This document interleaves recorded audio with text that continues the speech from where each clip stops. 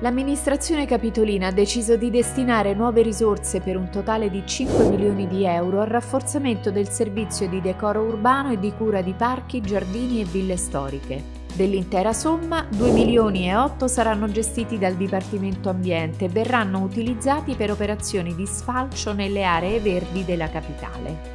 1.800.000 euro invece saranno riservati al diserbo meccanico, cioè ad estirpare le erbe infestanti da marciapiedi, strade e piazze.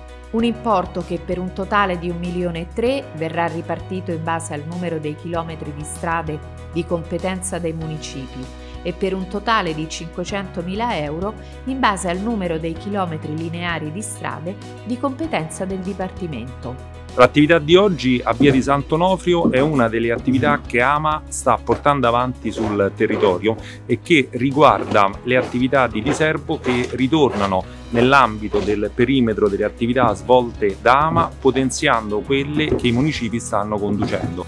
L'eliminazione del verde infestante e la cura del verde di pregio rappresentano quindi l'impegno dell'amministrazione nel definire standard di qualità della vita e dello spazio urbano.